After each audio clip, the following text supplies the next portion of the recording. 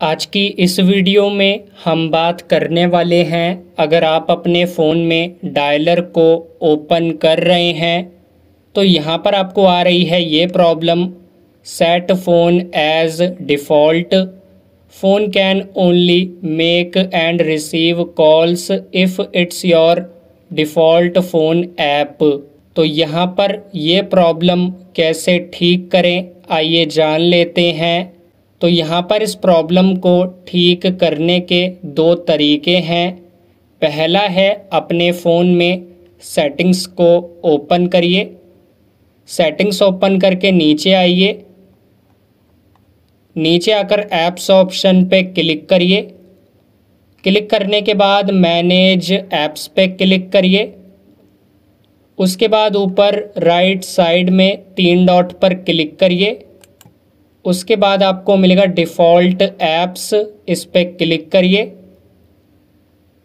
Default apps पर click करने के बाद आपको मिलेगा लॉन्चर और इसके नीचे मिलेगा डायल, यानी कि डायल पैड या फिर आपके फ़ोन का डायलर, इस पर आप क्लिक करिए। क्लिक करके आपको मिलेगा फ़ोन सिस्टम लिखा होगा तो फ़ोन पर क्लिक करिए। यहाँ पर फ़ोन को डिफ़ॉल्ट डायलर सेट करने के बाद बैक आ जाइए। उसके बाद चेक करिए, अब ये प्रॉब्लम आपको नहीं आएगी।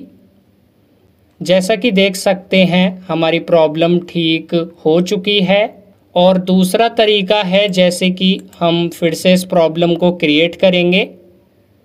तो जब आप इसे ओपन करेंगे तो ऐसा पेज आपको मिलेगा तो नीचे आपको मिलेगा, set as default.